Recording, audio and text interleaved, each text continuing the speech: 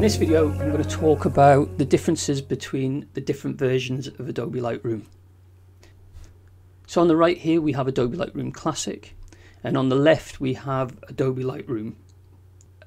We also have a mobile version of Adobe Lightroom that can be downloaded onto Android, iOS. You can use it on tablets and, and smartphones. We also have a browser-based version of Adobe Lightroom, which you can access at lightroom.adobe.com.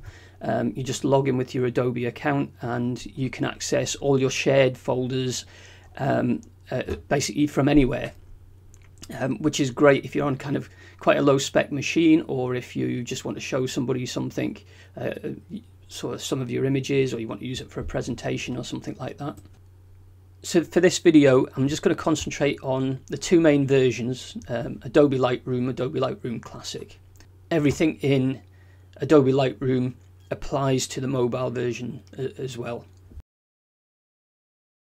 Probably the first difference that you'll notice between Lightroom and Lightroom Classic is the interface. So Adobe describe Lightroom Classic as being more comprehensive and describe uh, Lightroom as being simpler to use. So that's their kind of terminology for the difference between this. And you can actually see just by just from a quick glance uh, all the extra information that, that's available on that first kind of first kind of screen. Um, we've got kind of this uh, we've got bars all around we've got menus on on both sides we've got a thumbnail bar at the bottom and um, it's got an awful lot more information um, on on kind of first look. Um, Lightroom is much more kind of visual for starters. We've got kind of like icons and things down here, like little images. Um, it's much more slicker and much more compact, I guess, to make it fit kind of better onto onto mobiles and tablets and things like that. Um, beyond that kind of first main screen, um, if I go up to the top menu here, so our, our, main modules in Adobe Lightroom Classic are Library and Develop. So I click on Develop, that takes us into where we kind of do our editing, and it's it's actually very very similar to all the other versions of Lightroom. If I go over to Lightroom here and just click on that, you'll see that it brings up this pretty much the same interface. It's just less compact than the one on the right. Again it's made so that it, when it's small on, on mobiles and tablets and things it's easy to easy to use.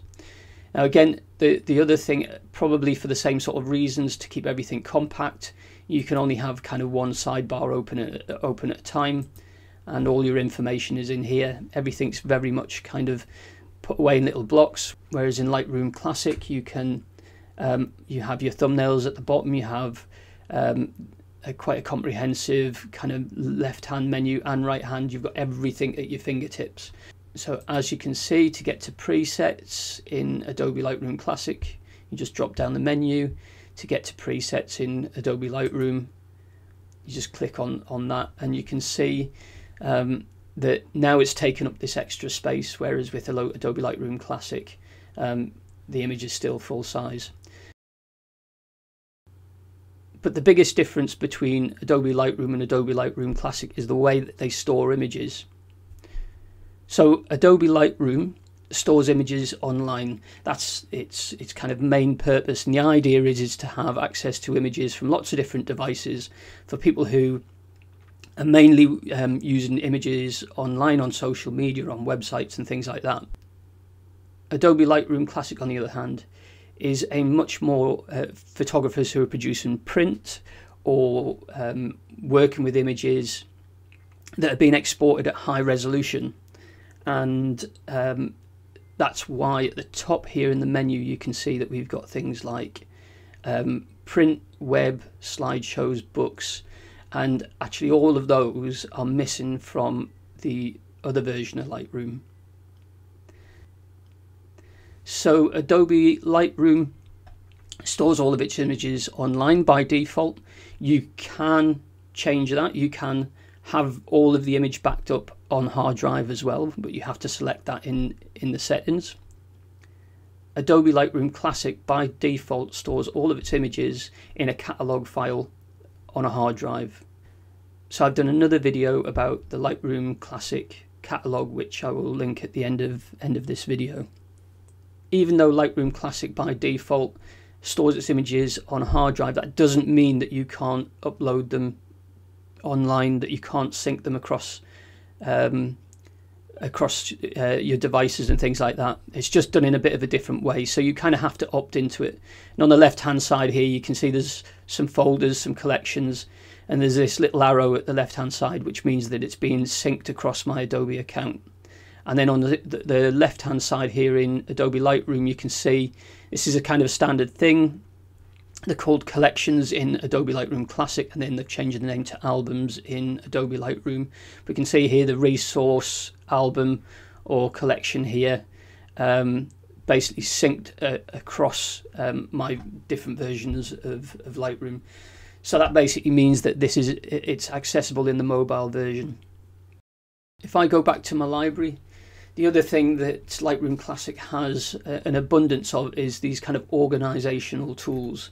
Um, there's a huge number of ways of kind of tagging your images, either with colors, with numbers. Um, you can see all of these different kind of uh, filters down here. Um, so if I go to my filters here, and you can see, so you've got flags, you've got ratings, and you've got colors and you can use them to filter to filter through filter through your images.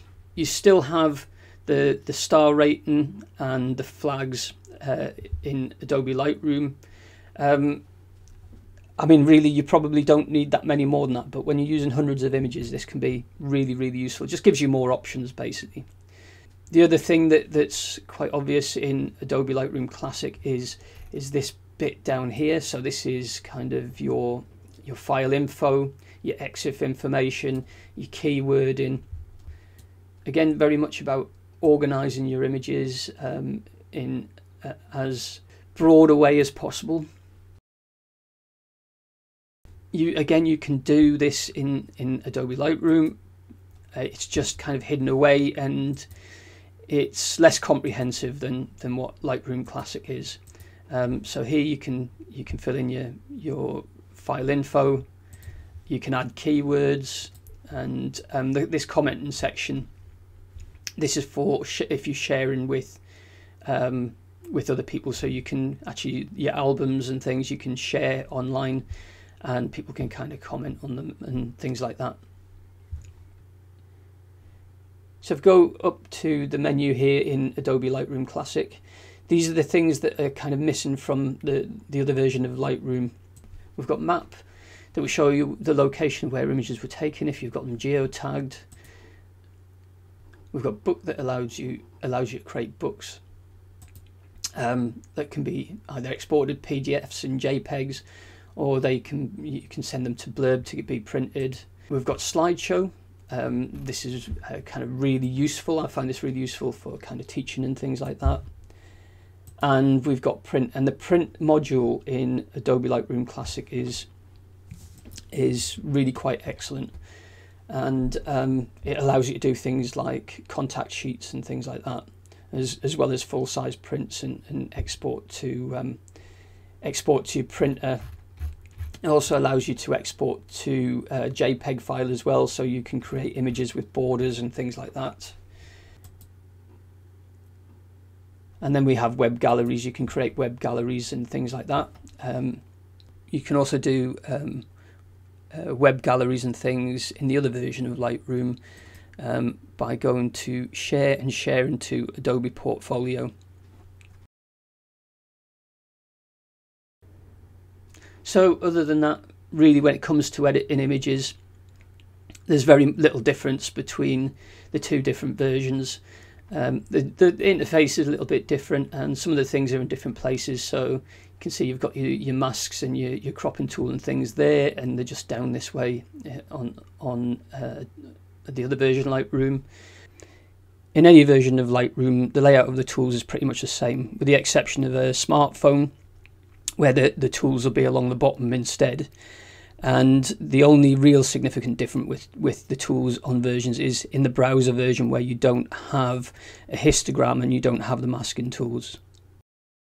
Hopefully that's been helpful showing some of the differences between the different versions of Adobe Lightroom. If you like this video, please give me a thumbs up, uh, subscribe to my channel, and if there's anything specific, you kind of any questions that you want answering or anything that you want me to cover in, in my videos, please just leave a message in the comment and I'll I'll get round to that as soon as I as soon as I can. Thank you very much.